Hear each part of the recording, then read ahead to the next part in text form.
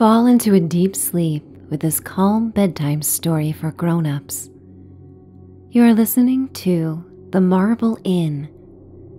Return to Sugar Hollow, a mystical town in New England that invokes the spirit of the past and inspires hope for the future.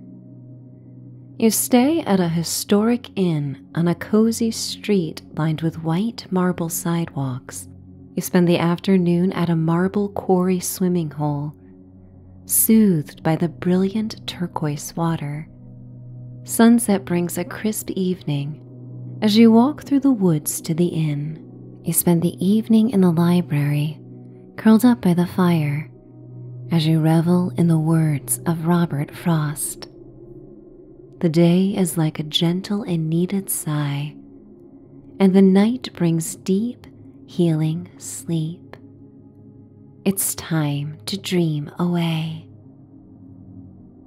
I would like to welcome you to Michelle's Sanctuary. I am Michelle, and as you listen, think of me as a dear friend and advocate for peace in the sanctuary, you may feel the most relaxed and safest you have felt all day. This is your time to shut out the world and go to places deep within. No judgment, no worries, no concerns. Dedicate all your energy to feeling good and using your creative mind to take a mental vacation. Modify, customize, and enhance this story to meet your needs. You may fall asleep at any point. Wiggle and settle into your bed. Imagine the four walls of your room and your ceiling and floor Create a haven where you are free to be yourself and let down your guard. Open your mouth and let out a theatrical sigh. Make a sound and let everything go. Then sip in fresh air slowly through your nose. Pretend this air smells of spruce trees, fields of summer grass, and the smell of stones covered in dew. When your lungs are full, open your mouth and yawn. Welcome the tired sensation that comes with each yawn. Enjoy two more rounds of breathing at your own pace. You can yawn, you can sigh, you can do whatever you like. But make this moment delicious and special. Let this breath work remind you of all the things that are going right for you to be alive, relaxed, and in this wonderful place for peace. As Eckhart Tolle expressed, Every conscious breath is a meditation. It's that simple. As you note how much better you feel now than minutes ago, your mind and body prepare to soar on your imagination. Find stillness. Return your breath to normal it's time for the story to begin. Sometimes travel can feel more like a dream than reality. New experiences silence the worries of daily living as you catch each new moment with an element of surprise and openness. You often feel light and easy when you come to Sugar Hollow. Drifting into town, carefree, and surrendering like a scarf on the breeze. The front desk manager at the Marble Inn has a sophistication and level of sass one might not expect to find in a historic town in a spiritual setting. Of all the folks encountered in Sugar Hollow, Riker Walb is the most present and perceptive one will meet. His uniform is tailored perfectly to his slight frame, and his fingers gracefully slide between cream linen envelopes in a sapphire jacquard box. He plucks an envelope bearing your name, written in calligraphy, and places it in your hand. It contains a skeleton key, not often found in modern hotels. The envelope is heavier than you expected and as you open it, you discover a smooth marble keychain engraved with the name of the hotel. It's not the first time you will encounter marble treasures on this journey. Riker passes you a map of Sugar Hollow with more detailed roads and notes than you could ever find on Google. The map was hand drawn by a longtime resident in her 80s and has personal annotations and historic mentions. Many of these things only the locals know about. Riker recommends that you visit the marble quarry before the weather changes. It's a popular gathering spot that offers a refreshing swimming opportunity during the dog days of summer.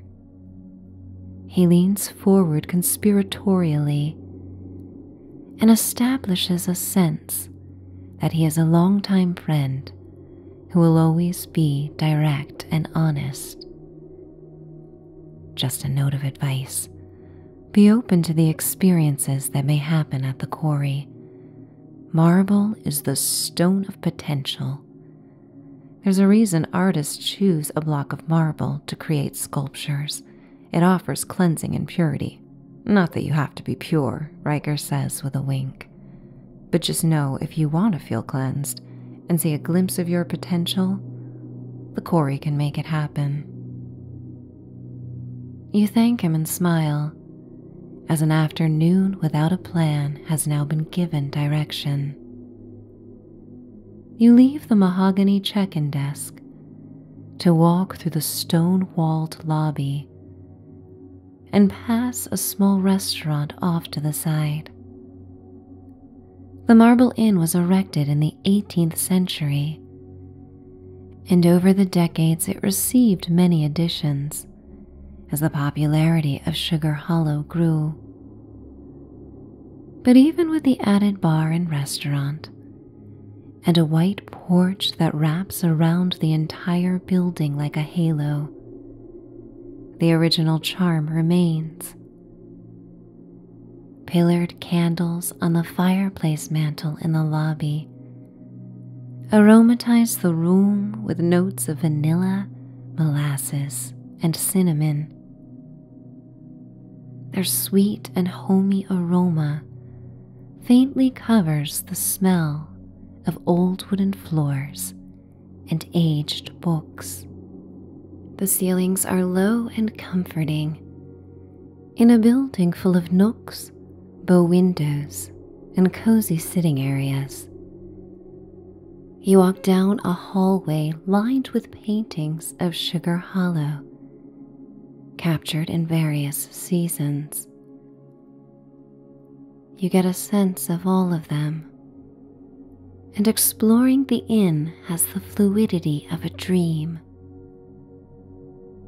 You feel as if you are floating through time as you pass the library with wall to ceiling books, jewel toned chairs, and silk upholstered settees staged around a marble fireplace.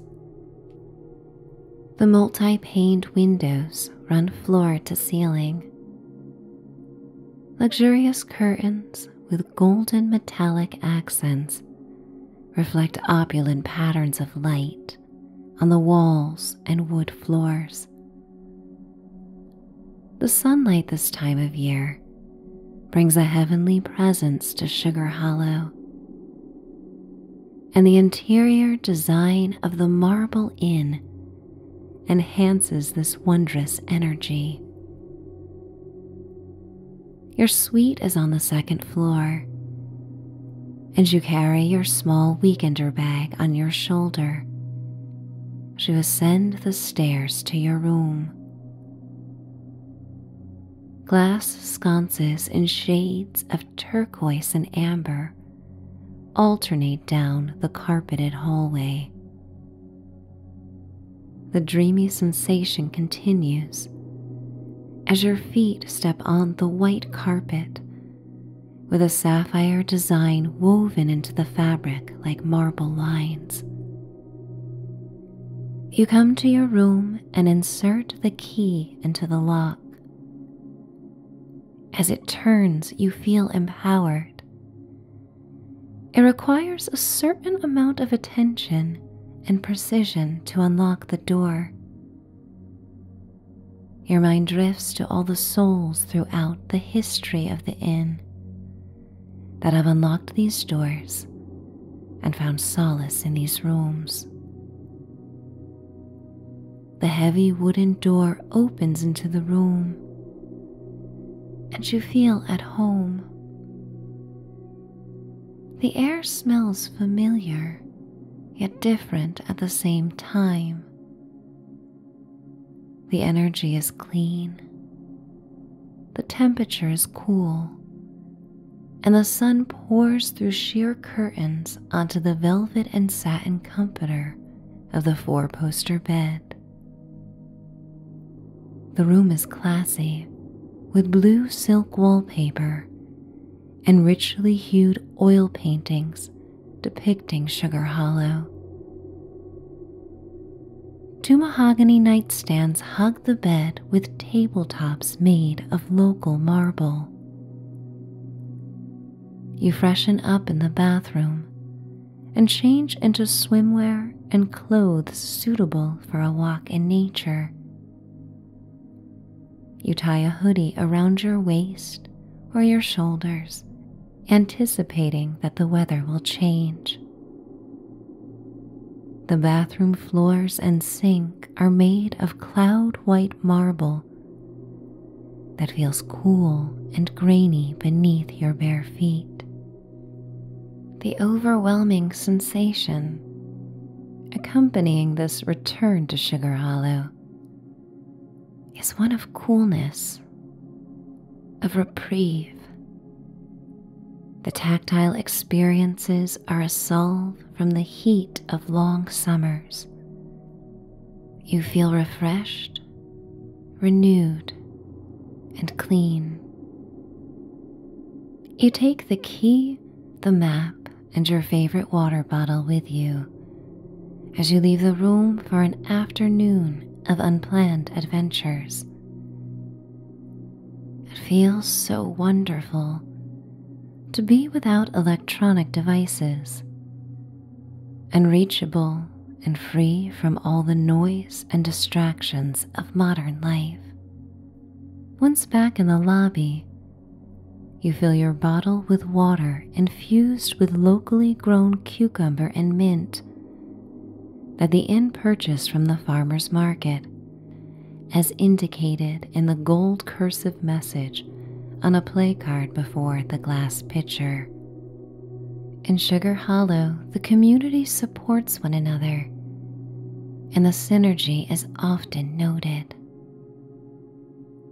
Riker wishes you a wonderful afternoon as he checks in a couple traveling with their dog and promises he will be there when you return. You smile it feels good to be acknowledged by someone who seems genuinely concerned that every guest feels welcome. You walk out into the village of Sugar Hollow, on a side street you have not walked before. White marble sidewalks sparkle in the shower of afternoon light, and they seem surreal. Never had you imagined such a beautiful stone would be used for something so seemingly utilitarian. The heat is tempered by a persistent breeze that rustles the lush periwinkle and purple pink blossoms of hydrangea bushes that harmoniously line the lane. Grand, historic houses have been fashioned into quaint restaurants and saloons, where one may dine in an 18th century bedroom or parlor. Children run through prismatic sprinklers that water velvety emerald lawns rife with oak and maple trees in the residential houses. As you walk farther, the homes become more spread out, and you come to a quiet highway that weaves through a wooded area. Monarch butterflies touch down on the tall blades of grass along the shoulder of the winding road. Black eyed Susans, with their velvety brown centers, and delicate Queen Anne's lace sprout out of the earth and stir a childlike desire to touch them. You run your fingers across the satiny and lace like blossoms. These flowers are timeless and you can imagine how they offered the promise of summer to all whoever experiences Sugar Hollow in August. You hear the sounds of laughter and splashing in the distance. The joyous voices become louder as you round the bend to encounter the crushed marble path to the quarry swimming hole. Evergreen trees form a shadowy canopy overhead as rocks crunch beneath your feet. A blue jay flies in front of you, and recall once hearing that this is a sign of good luck. But no signs are needed today. You feel the luck of being alive of being able to experience the pleasures of nature in a place where people pride themselves on living harmoniously with it. The path ascends a hill, and you feel grateful for your feet and strong leg muscles as they carry you to the summit The trees open up into a clearing of marble dappled with tiny islands of grass and wildflowers. You walk towards naturally formed marble steps that lead to the swimming hole. The water is a brilliant shade of Bahamian blue made possible by the minerals and gases released.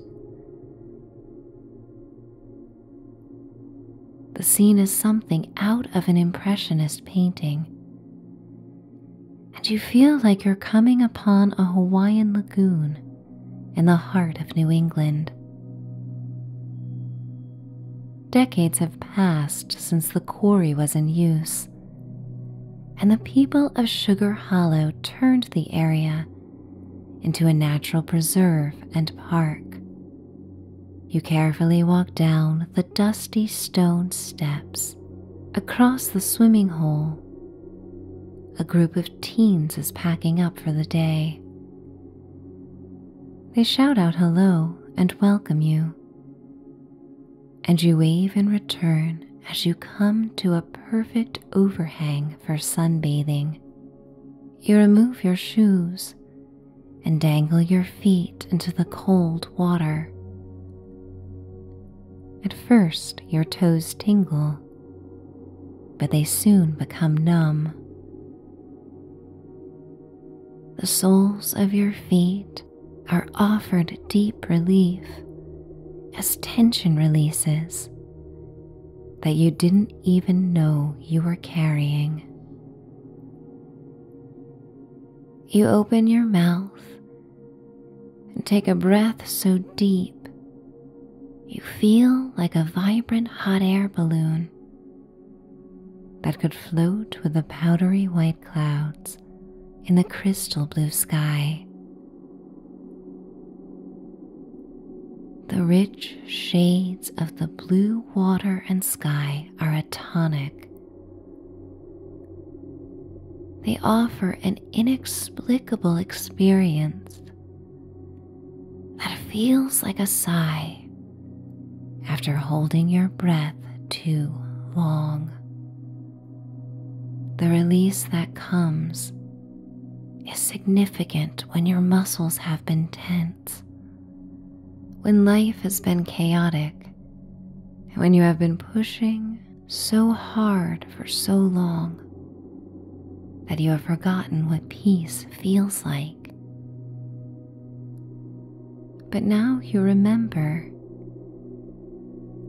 This afternoon is the deep sigh you didn't know you needed. And now that you have experienced it, you recognize there is no going back to the grind in the same way. Deep down, you know this day will prompt you to focus on your health and to embrace tranquility when you depart Sugar Hollow. You remove your clothes and wrap the arches of your feet around the smooth edge of the rock.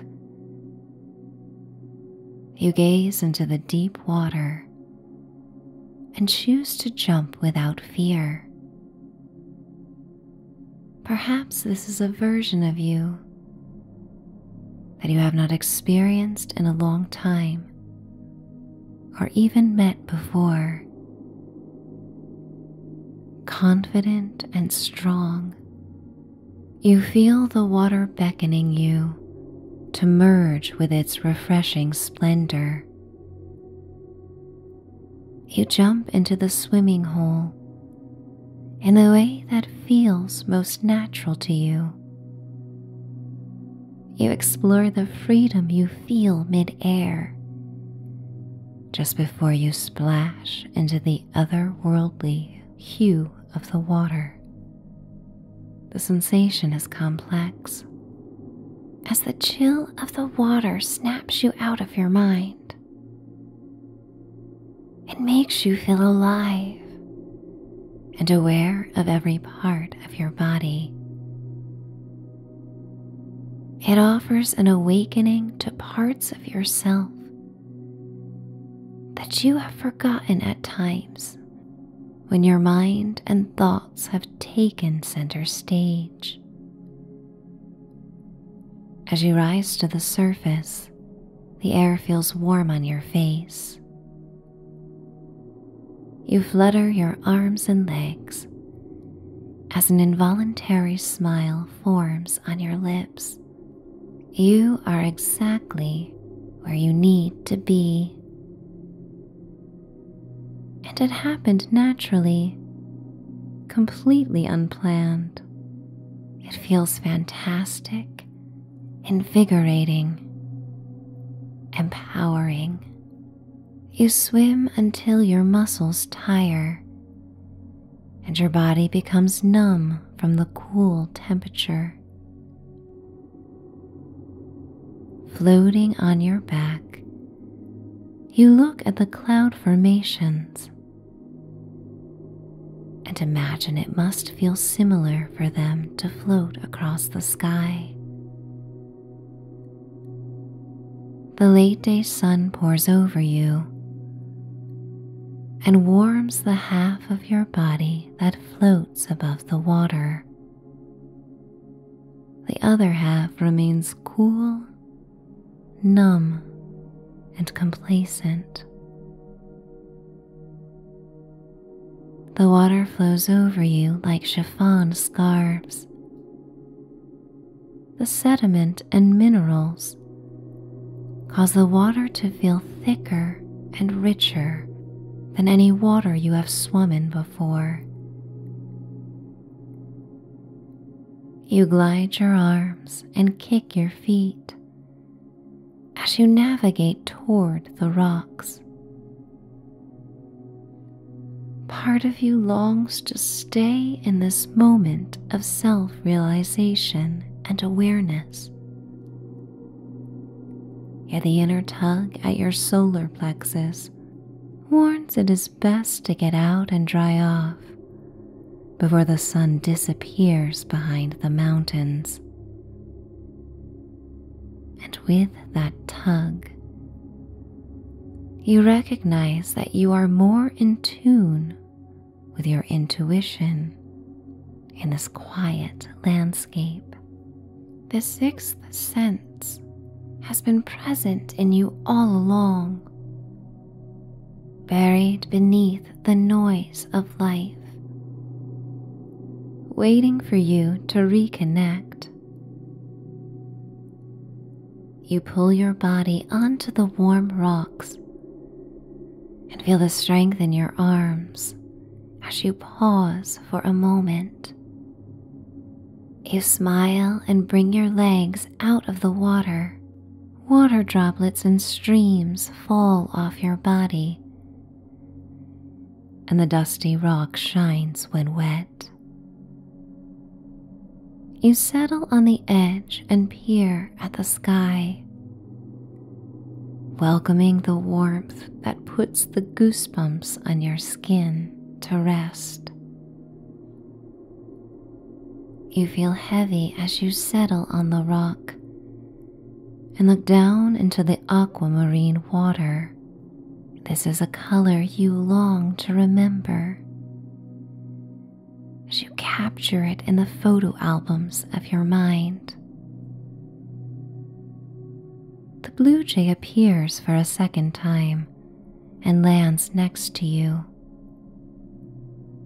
You look into its eyes, and when the bird is certain it has your attention, it takes flight and glides down towards the water. The blue jay flies in circles around the water below, and you lean forward to see your reflection ripples form on the surface and slowly reveal a future version of you. This version is the person you may become should you stay on a path toward healing, inspired by your dreams and desires. In this reflection, you are happy, confident, and doing something you deeply enjoy. So much may be energetically gleaned from this rendition of you in the aquamarine reflection. Your heart swells and you feel grounded as you firmly believe you are on the right path becoming this version. You recognize that opportunities will present themselves to you, that all things will align when you are open to the purpose of your life. When you recognize that you have and always will deserve the wonderful things that come your way. The sun dips toward the silhouette of purple gray mountains, and shadows are cast across the water in willowy black figures. You come out of the daydream brought on by the reflection and watch the blue jay soar away you are unaware of how much time has passed, but it has been much longer than it felt. You rise and notice you are now dry and get dressed. You are grateful for the fleece comfort of your hoodie against your cool skin. You pause to take in the fiery orange sun reflecting on the ultra blue water and the awe inspiring marble peaks that rise around it.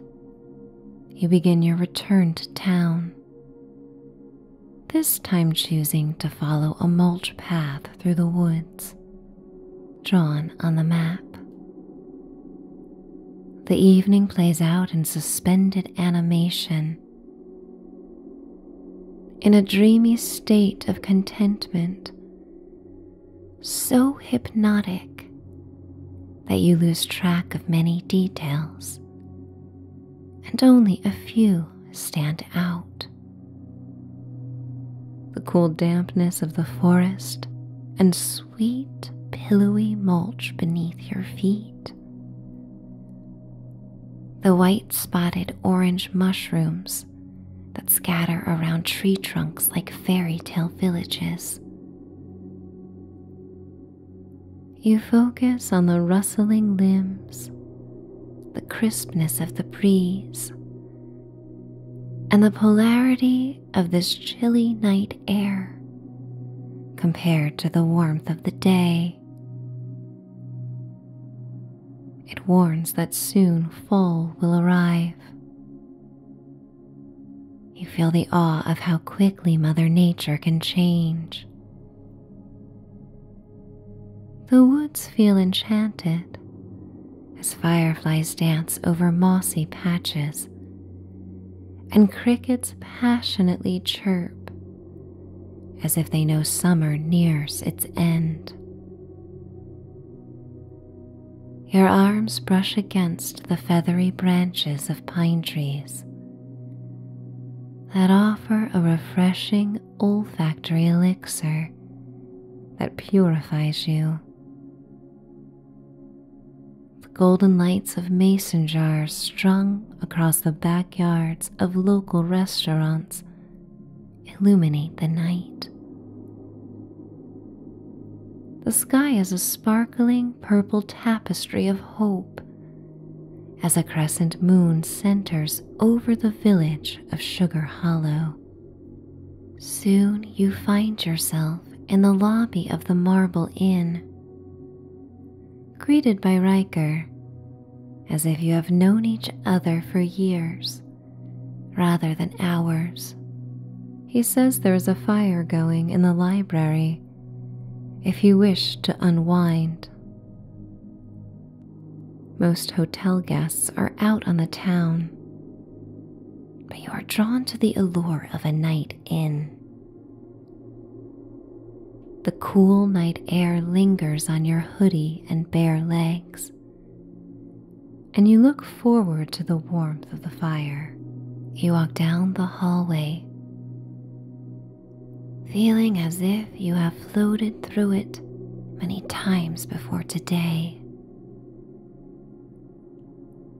You walk beneath the wooden archway of the library and enter it to peruse the books on the shelves.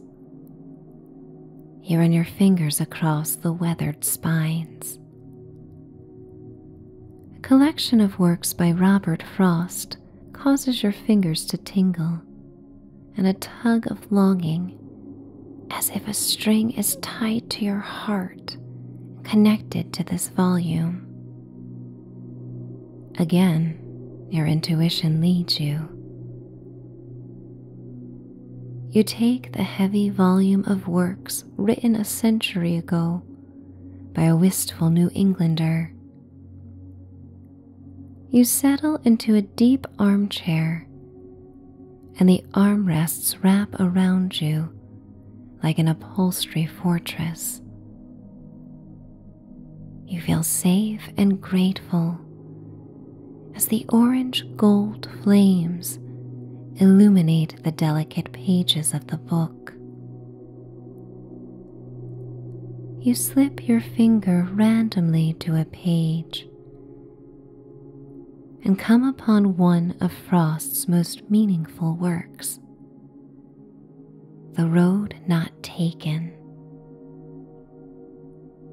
A passage appeals to you. I shall be telling this with a sigh. Somewhere ages and ages hence, two roads diverged in a wood, and I, I took the one less traveled by, and that has made all the difference. In the written words of a man gone long before you would ever arrive in the sacred mystique of Sugar Hollow, there comes the mention of a sigh, for this day has been a sigh. You took both roads, the one most traveled and the one that wove through the woods. You suddenly realize the potential you discovered in your reflection at the quarry offers insight to the road that appeals to you most and appeals to you alone.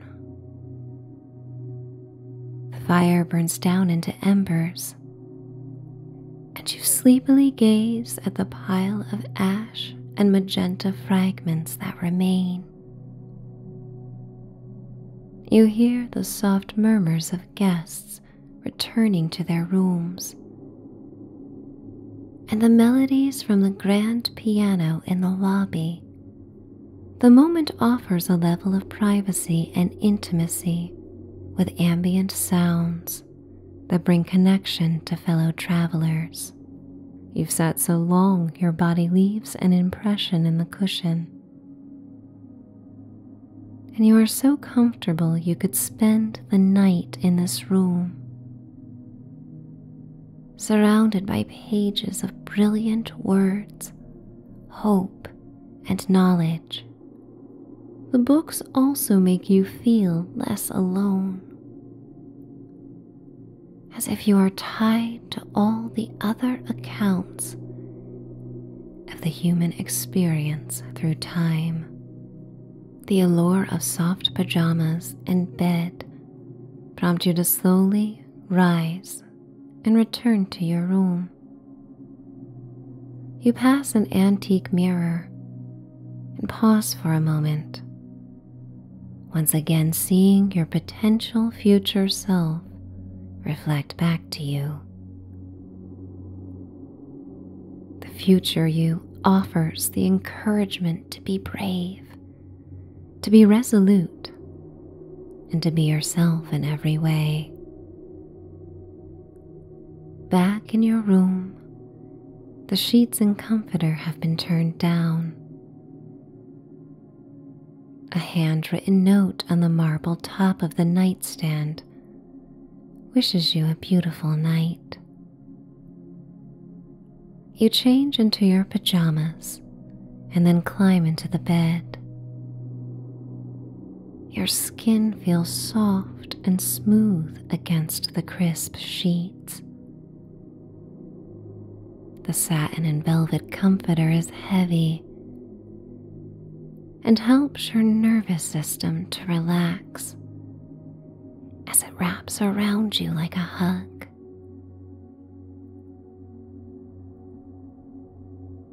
Gratitude runs to your bones for this trip and self exploration.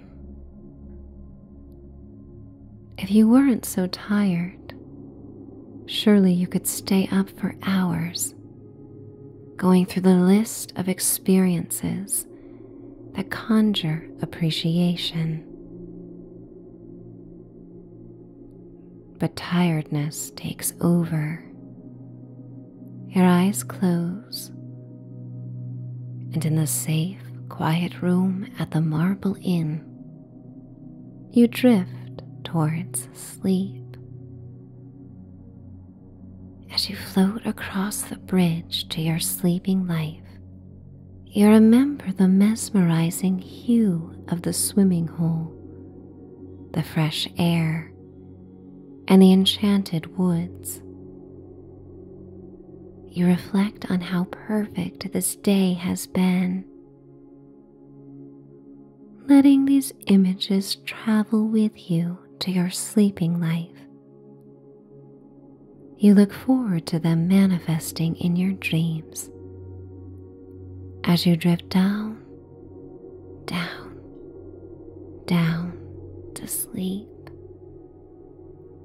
finding rest, finding respite, finding solace, finding sleep. It's time